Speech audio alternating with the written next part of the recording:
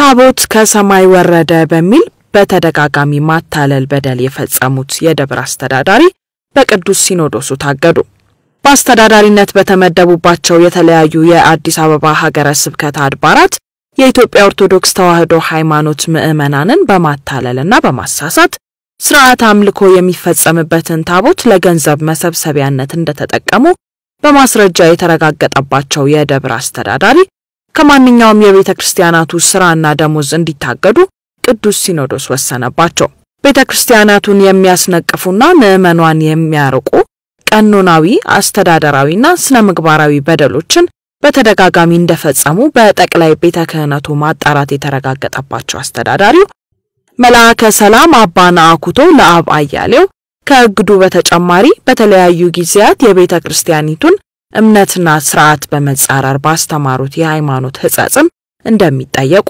ቋሚ ሲኖዶሱ ባለፈው ሐምሌ 21 ቀን ባሳለፈው ውሳኔ አመልክቷል። እስካለፈው መጋቢት ወር ድረስ የደብረ ሰላም ቅዱስ እስጢፋኖስ ቤተ ክርስቲያን አስተዳዳሪ የነበሩት አባ ነአኩቶ ለአብ አያሌው ከውሳኔው ቀደም ሲል በአዲስ አበባ ሀገረ ስብከት ጽሕፈት ቤት አስተዳደር ጉባኤ ታግደው የቆዩ ሲሆን በተደረገው ማጣራት የሀገረ ስብከቱን እግድ ያጸናው ቋሚ ሲኖዶሱ በቦታቸው ሌላ አስተዳዳሪ እንዲመደብበትም በውሳኔ አዟል። አስተዳዳሪው በመሯቸው ሶስት አድባራት የፈጠሯቸው ችግሮች በስድስት ነጥቦች ተለይተው ለቋሚ ሲኖዶሱ ከቀረቡ በኋላ ለጠቅላይ ቤተ ክህነቱ በሰጠው ትዕዛዝ የተመደቡ ልዑካን በሦስቱም አድባራት በአካል እየተገኙ በዝርዝር ማጣራታቸውንና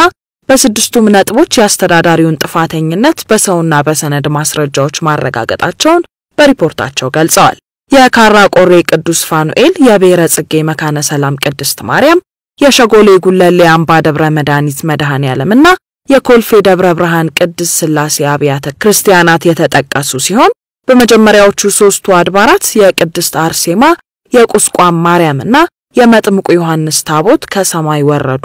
ከዋሻ ተገኙ፣ ከጳጳሱ አስፈቅጄ አመጣው እያሉ በማስገባት ንግስ ለቢዝነስ በሚል ፈሊጥ የዋሃን ምዕመናንን በማሳሳት ታቦትን ለገንዘብ መሰብሰቢያነት መጠቀምን የተለመደ ተግባር አድርገውት እንደነበር ተነግሯል። በሐሰት ራሳቸው ጥይት በመተኮስ መብረቅ ወረደና ከመብረቁ ጋር ታቦት ከሰማይ ወረደ በማለት የማታለል ተግባር እንደፈጸሙ የጠቀሰው ሪፖርቱ አሁንም ድረስ የምዕመናንን ሕሊና እየጎዳ ያለ ሕገወጥ አድራጎት እንደሆነ ገልጿል። በታቦቱ ላይ በቤተ መቅደስ ውስጥ ክብረ ነክ ንግግር እንደሚያዘወትሩና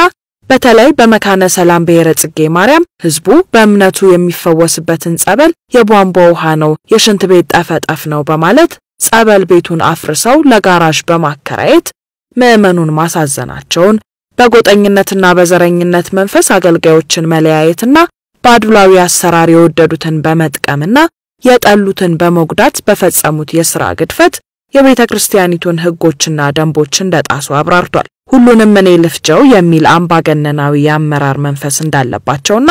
ለገንዘብና ለሙስና በር ከፋች የአስተዳደር ስርዓትን እንዳስፋፉ አስፍሯል። በቤተ ክርስቲያኒቱ ይዞታዎች መብቷንና ጥቅሟን አሳልፈው የሚሰጡ የኪራይ ውሎችን በመፈጸም ለገንዘብ ወጪና ኪሳራ መዳረጋቸውን መብቷንና ጥቅሟን የሚያስከብር የፍርድ ቤት ውሳኔ እንዳይፈጸም ማድረጋቸው ከስርዓቷ ውጪ የሆኑ ቃላት በአውደ ምሕረት ለምዕመናን በድምፅ ማጉያ በመናገር የካህናቱንና የምዕመናኑን ስም ማጉደፋቸውን ራሳቸው የሽልማት ኮሚቴ በማቋቋም ፍትሐዊነት የጎደላቸው ተደጋጋሚ የሽልማት ስጦታዎች እንዲሰጧቸው በማድረግ አላግባብ መጠቀማቸውን የመብት ጥያቄ የሚያቀርቡ አገልጋዮች አላግባብ እንዲዛወሩና እንዲታገዱ ማስደረጋቸውን ሪፖርቱ ዘርዝሯል። ከዚህ ቀደም በፈጸሟቸው የስራ ግድፈቶች በሀገረ ስብከት ደረጃ ተደጋጋሚ ማስጠንቀቂያ የተሰጣቸው ከመሆኑም በላይ ሊቀ ጳጳሱ በተገኙበት የአስተዳደር ጉባኤ ፊት ቀርበው ከእልቅና የሚያስነሳ ክሳቸውን በማመንና ጥፋተኝነታቸውን በማረጋገጥ ለአንድ ጊዜ ብቻ በወላዲት አምላክ ስም ይቅር በሉኝ ብለው በመማጸናቸው ዋስ ጠርተው ታልፈው እንደነበር አውስተዋል። ይሁንና በሀገረ ስብከቱ አስተዳደር ጉባኤ ፊት ዋስ ጠርተው የገቡትን ቃልና የተጣለባቸውን ከፍተኛ ኃላፊነት ወደ ጎን በመተው ተመሳሳይ የሥራ ግድፈቶችን መፈጸማቸውን በመቀጠላቸው ከተመደቡባቸው አድባራትና ገዳማት በካህናትና ምዕመናን ተቃውሞ ሲዛወሩ መቆየታቸው ተጠቁሟል። በተደጋጋሚ ያደረሱት የአስተዳደር በደልና የገንዘብ ምዝበራ ያሳዩት የሥነ ምግባር ችግርና የተገኘባቸው የሃይማኖት ሕጸጽ ቤተ ክርስቲያኒቱን የሚያነቅፍና ምዕመናኑን የሚያርቅ መሆኑን በመገንዘብ ቋሚ ሲኖዶሱ ከማንኛውም ስራና ደሞዝ እንዲታገዱ